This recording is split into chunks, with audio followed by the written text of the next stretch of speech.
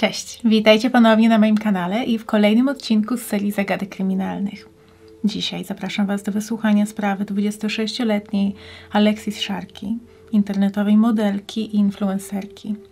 Jest to dość świeża sprawa i swego czasu było o niej bardzo głośno, dlatego zakładam, że część z Was już ją zna. Są to wydarzenia z końca 2020 roku. Jeśli jednak chcielibyście albo poznać tę tragedię, albo dowiedzieć się na jej temat więcej, to zapraszam Was do oglądania. Alexis urodziła się 25 stycznia 1994 roku i dorastała w północno-zachodniej Pensylwanii z rodzicami i dwiema młodszymi siostrami. Alexis kochała swoją rodzinę i była bardzo blisko z rodzicami i rodzeństwem. Od najmłodszych lat była też wyjątkowo ambitna. Wydawała się wręcz uzależniona od nauki i dążenia do założonych celów. Dodatkowo bardzo dbała o swój wygląd i kondycję fizyczną. Pięć razy w tygodniu chodziła na siłownię.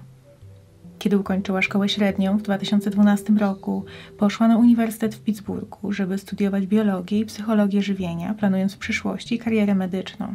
Cztery lata później Alexis skończyła szkołę z najlepszymi wynikami ze wszystkich w swojej klasie i postanowiła zrobić sobie roczną przerwę na podróżowanie i odpoczynek. Od zawsze uwielbiała podróże i próbowanie potraw z całego świata.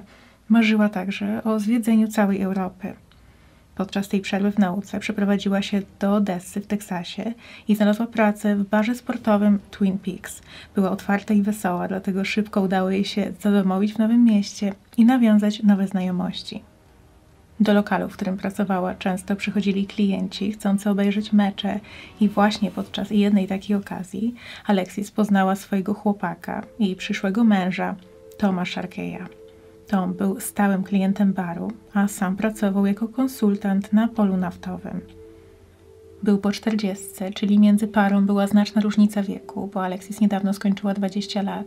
Dodatkowo miał już za sobą jedno nieudane małżeństwo i miał dwójkę dzieci z poprzedniego związku. Mimo wszystko, od samego początku świetnie się dogadywali i ta różnica wieku nigdy nie stanowiła przeszkody w budowaniu relacji.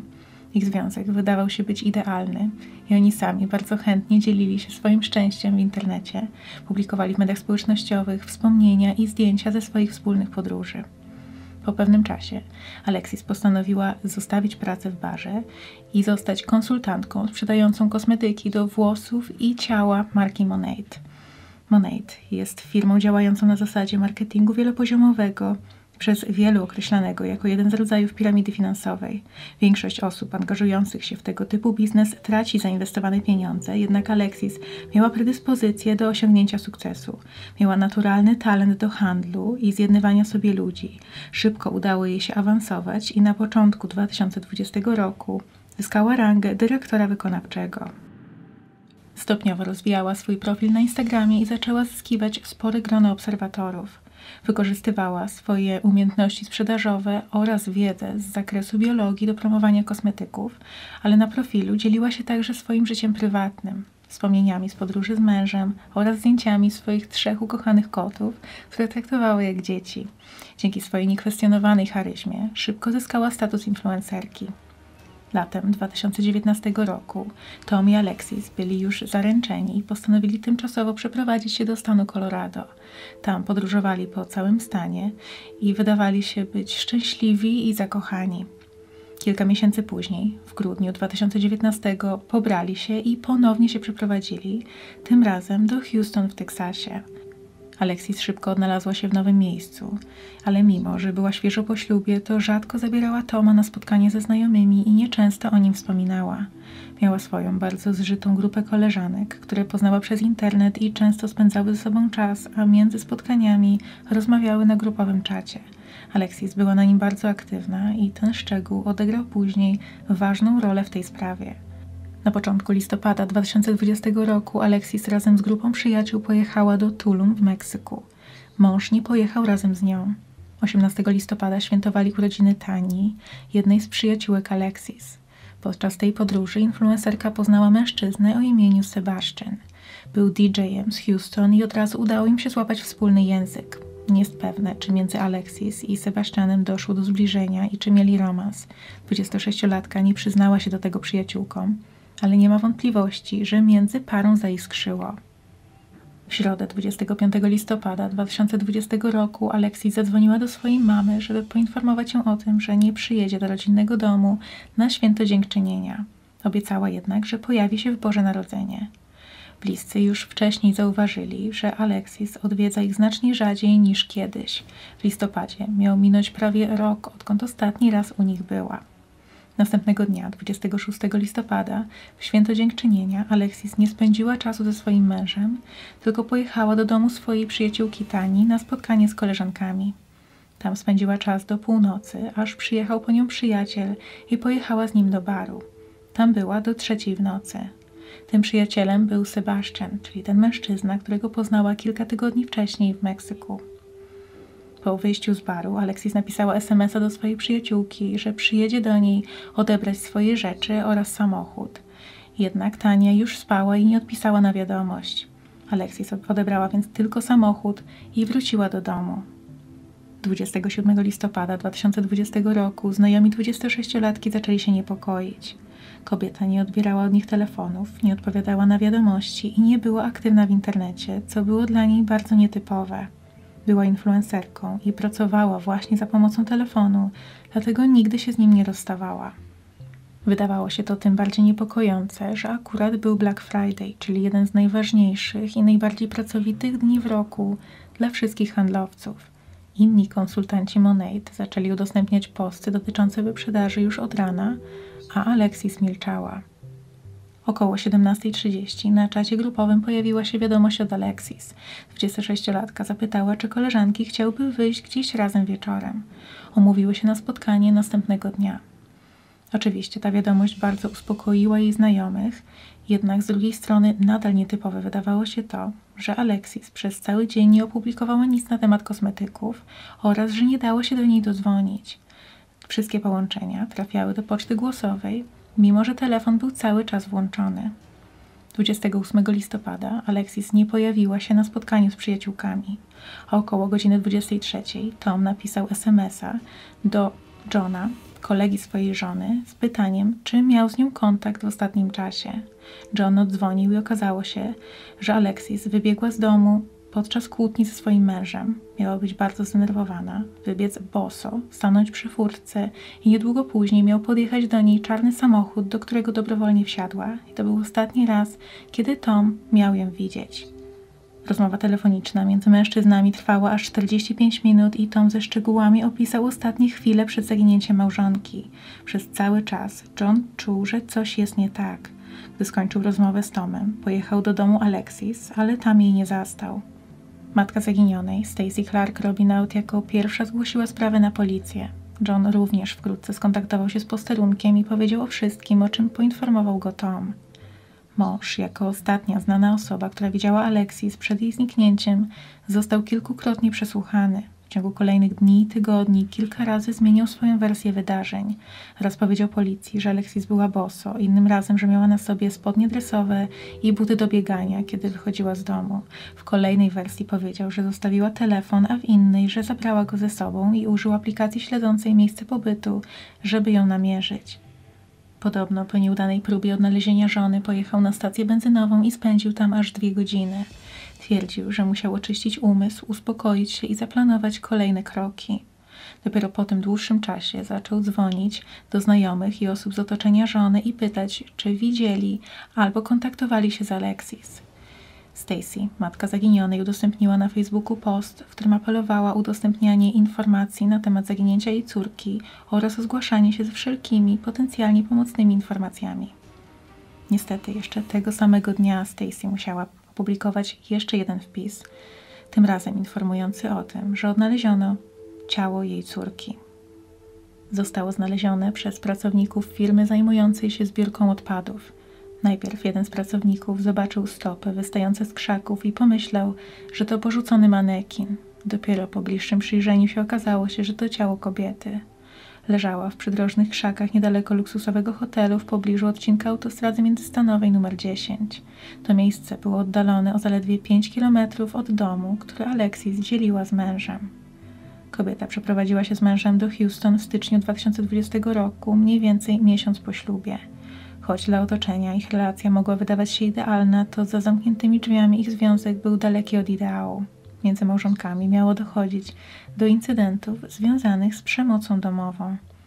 Przyjaciel influencerki zdradził, że Alexis zdążyła złożyć nawet wniosek o rozwód, ale bardzo obawiała się reakcji męża i zwierzyła się najbliższym, że boi się o swoje życie. Podobno codziennie paraliżował ją strach, jak Tom zniesie to odrzucenie.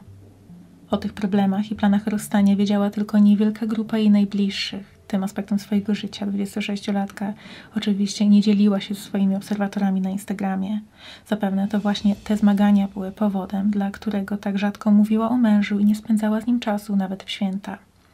Po wyjściu na jaw tragicznych informacji na temat jej losu, Tom opublikował w mediach społecznościowych serię zdjęć żony, w tym takich zmierzenia przez nią sukni ślubnej. Podziękował wszystkim za udział w poszukiwaniach i powiedział, że Alexis była dla niego najważniejsza na świecie i że pokazała mu, co to znaczy prawdziwie kochać. Odniósł się również do pogłosek na temat jego rzekomego związku z jej śmiercią. Kategorycznie temu zaprzeczył, choć przyznał, że w ostatnim czasie nie najlepiej działa się w ich relacji i że w dniu jej zaginięcia się pokłócili. Kilka tygodni po stracie córki Stacy zgłosiła się do zięcia po rzeczy Alexis.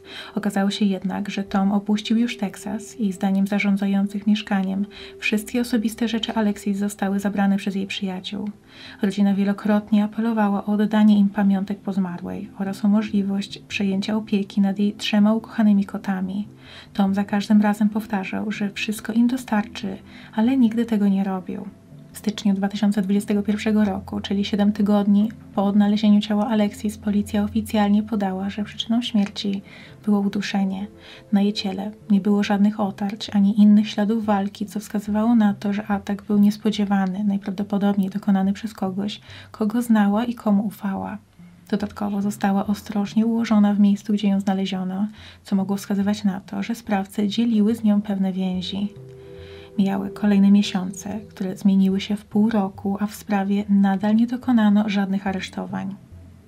Głównymi podejrzanymi w sprawie były oczywiście osoby, z którymi kobieta widziała się tego ostatniego dnia, czyli mąż, przyjaciółki oraz Sebastian, który mógł być jej kochankiem. Tom Szarki bardzo niechętnie współpracował z policją i unikał rozmów z funkcjonariuszami, a zaledwie dwa miesiące po odnalezieniu ciała Alexis wyjechał z Teksasu, mimo że wiedział, że policja odwiedzi go w celu pobrania próbek DNA. Potem, gdy sprawa stała się głośna w mediach, w internecie zawrzało od spekulacji na temat winy męża, ale warto podkreślić, że nie tylko internetowa społeczność miała takie podejrzenia. Nawet sama Stacy podkreśliła, że możliwe, że zięć ma coś wspólnego ze śmiercią jej córki. Najbardziej zaniepokoiło ją to, że Alexis zaginęła w piątek, a jej mąż nie zrobił nic do soboty wieczorem, nie kontaktował się z jej znajomymi ani rodziną, a z samą Stacy porozmawiał po raz pierwszy już po tym, jak zaginięcie Alexis było zgłoszone na policję.